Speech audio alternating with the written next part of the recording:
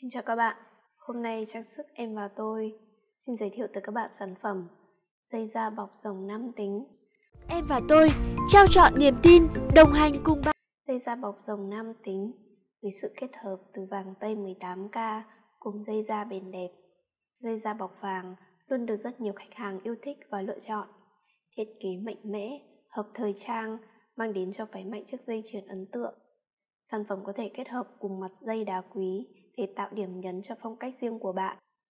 Dây da bọc rồng nam tính, nhận đặt chế tác theo yêu cầu. Quý khách vui lòng gọi đến 0913 951535 hoặc nhắn tin Zalo để được tư vấn mua hàng. Em và tôi thiết kế và chế tác trang sức 3D theo yêu cầu. Giao hàng toàn quốc, thanh toán an toàn. Quý khách có thể mua trực tuyến tại website trang sức vn.com hoặc các cửa hàng gần nhất. Cảm ơn các bạn đã theo dõi video của chúng tôi. Nhớ like, chia sẻ và ấn đăng ký kênh để nhận thông báo khi có video mới nhất. Nếu có góp ý hay bất kỳ câu hỏi nào, hãy để lại bình luận bên dưới. Hẹn gặp lại các bạn trong các video tiếp theo.